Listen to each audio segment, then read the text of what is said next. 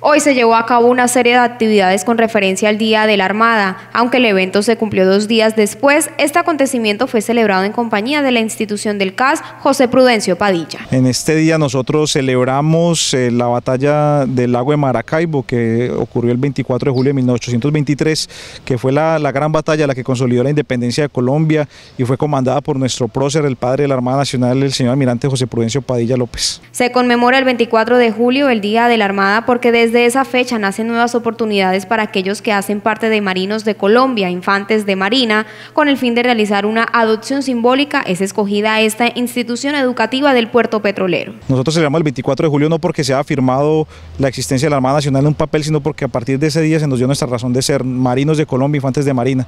Y escogimos el eh, adoptar como un acto simbólico a la institución José Prudencio Padilla, que lleva el nombre de nuestro prócer. Vamos a iniciar unas actividades de, de padrinazgo con ellos, vamos a ir a, darles unas capacitaciones a los niños, vamos a traerlos al puesto fluvial. Primero que todo es darles ejemplo a los niños. Los jóvenes nos ven en los, militares ejemplo de carácter, de disciplina, de responsabilidad, entonces queremos transmitirle eso. Queremos llevar unas charlas al colegio eh, de disciplina, de, indiferentemente de la doctrina militar, queremos es encaminarlos por el camino del bien. Con esta adopción se busca que los jóvenes tengan oportunidad de conocer a fondo la vida detrás de un uniforme, sus responsabilidades y oficio bajo la disciplina y compromiso.